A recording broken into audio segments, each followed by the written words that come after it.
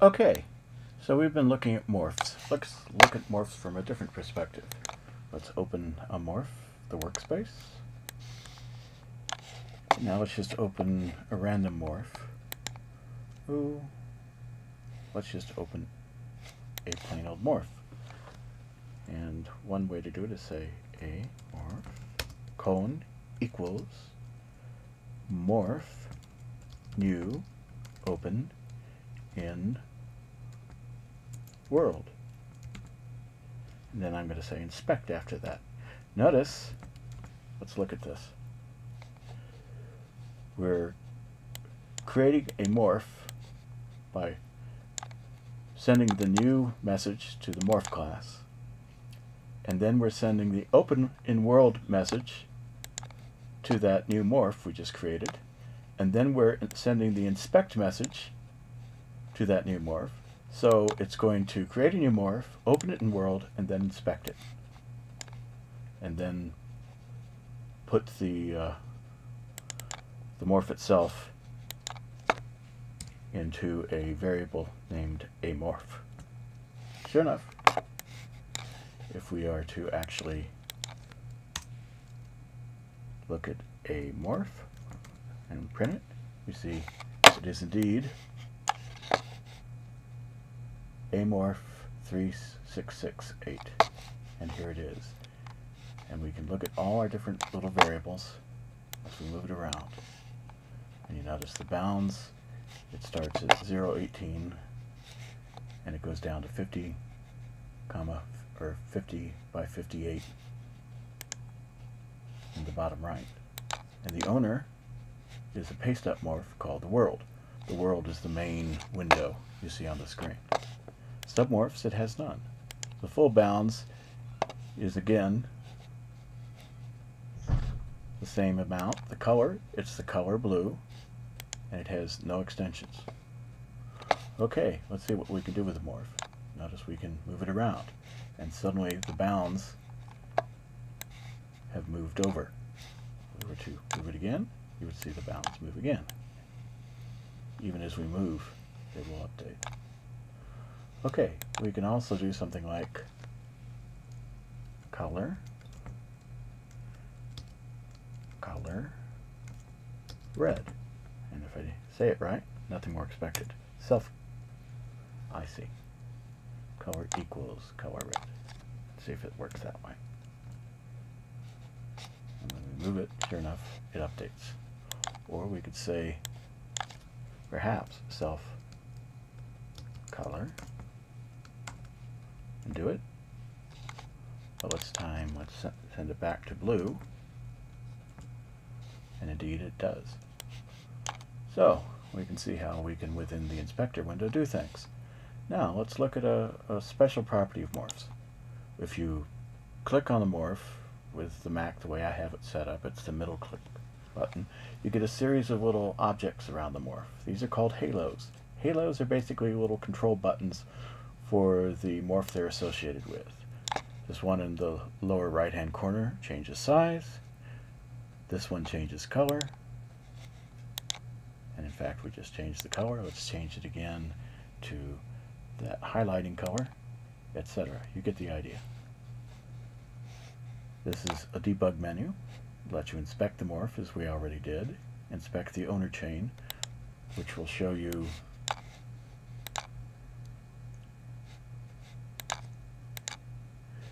the chain of owners. This is the current morph, this is the owner morph. If we had more morphs embedded in each other, we would get a longer chain. So let's move that out of the way. Continue. Our debugging mes message also lets us do a few other things like edit our balloon help. Help not yet supplied for a morph. Okay duplicate. Press shift to make a sibling. This doesn't work with all, but with this one it does. It just cr created a complete copy of the morph. And if we were to inspect it, let's go to debug. There we go. And inspect the morph, we would see its morph number 12, uh, 2591. which is an exact copy except for the position of our morph 3668. Now, a fun thing about morphs, if, if you've created a morph like this,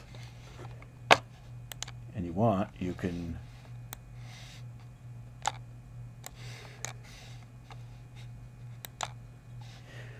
create textual reference.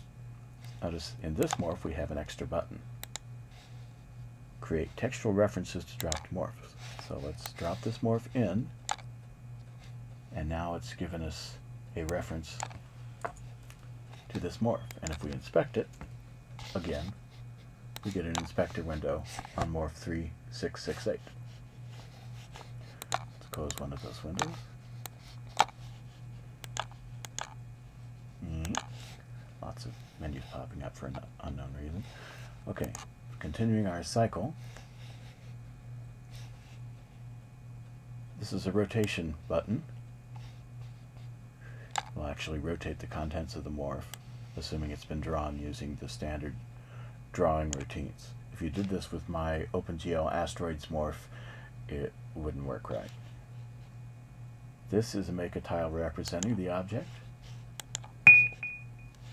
And in fact, if we were inspect that tile, we would find it's a tile morph, and its owner would be nil. We can just up through them until we find something that's different. A player, I'm not sure what a player is at this point. It's an object reference, and it's not referring to anything right now, uh, because we're still going up the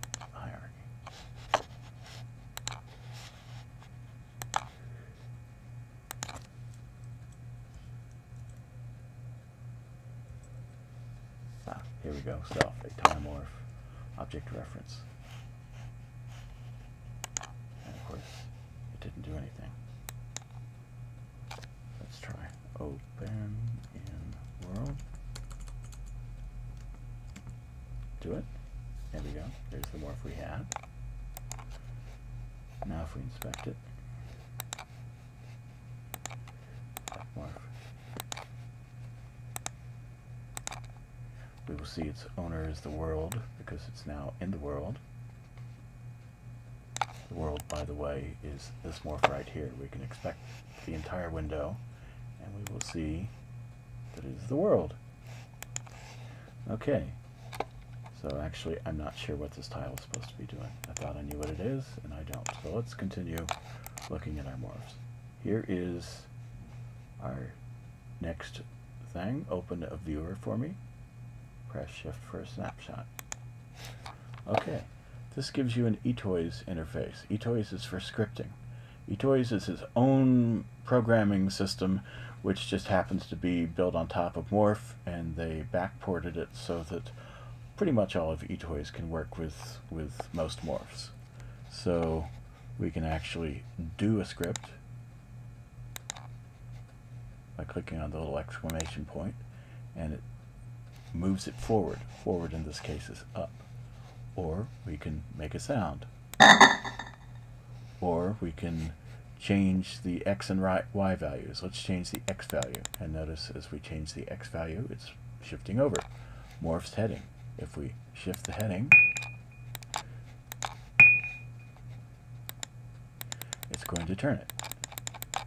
This is for um, when kids are programming, they've got little turtles on the screen and they can manipulate a turtle. So basically, these scripting, these eToy scripting things uh, make an individual morph something you would use and program in a kid's program as though it were turtle, if you're familiar with the logo language.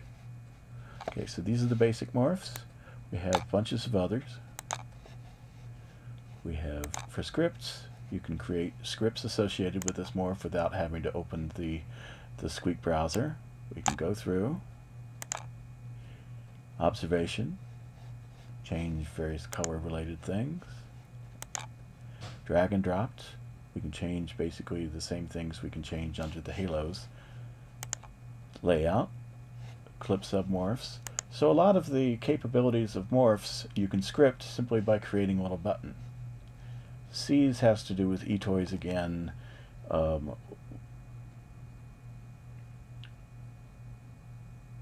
as I recall, it, it has to do with, with detecting what color the object is, is moving over. Again, for, for programming little turtles that move over objects and detect they've moved over etc. Overlaps, touches, pen use.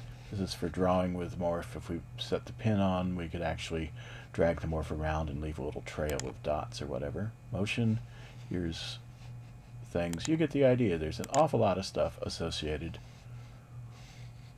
with morph. Some of it is only for eToys, and some of it is the general stuff that is available under the halos. So now we know. These things can be made into buttons all by themselves. And now morph's co color equals blue. We have a little button that we could program a little bit and change things. Certainly we can just click on it again and so on. You get the idea. So each of these little commands here is its own button. See, we just rounded the the corners, etc. All right, moving on. From creating a viewer, we can move to collapse. Now that turns it into a little collapse thingy, which we can then open up again. And of course, here's our main menu, for which many things are already available. And we can just close it.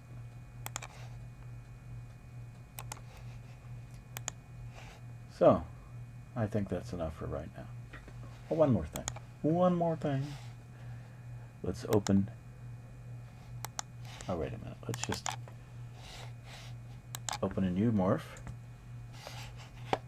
We inspected it. Now, there's a difference between inspect and another choice we have. Let's explore it. Explore opens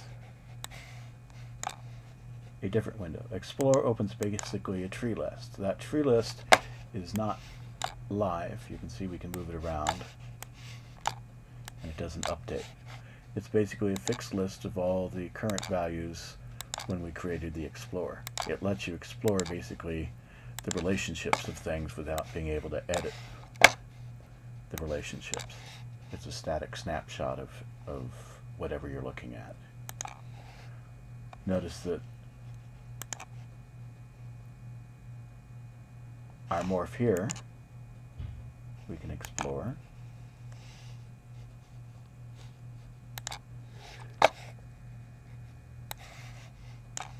And that's different than the other one. But in both cases, the owner is a paste up morph called world. Has no submorph, so we could create a submorph. We wouldn't see it change as we did it, but we could put that one in that one. You couldn't see it at all. But now, first we'll have to change things so it will accept drops. And now indeed, it accepts drop. And you notice that the Explore window doesn't change. Submorphs are still counted as an array of zero morphs, whereas in this, let's inspect this one.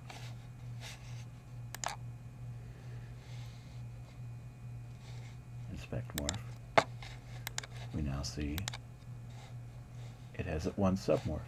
Now we can move it out by drilling down, by clicking over each morph individually and move it out, and indeed it updates to zero morphs. And of course we can go the other way. Let's make this small, except drops. And now we can, of course, embed this one and this one. And in fact, we now see that this morph now has a submorph, this morph. But again, our Explorer window still hasn't changed anything. But if we opened a new Explorer window, we would see all the changes. Inspector is good for seeing the live actions of an object. Explorer is good for seeing the interrelationships of the object at the time you looked at it, or you clicked for an Explore. So, end of tutorial on halos and exploring, and the relationship between exploring and inspecting.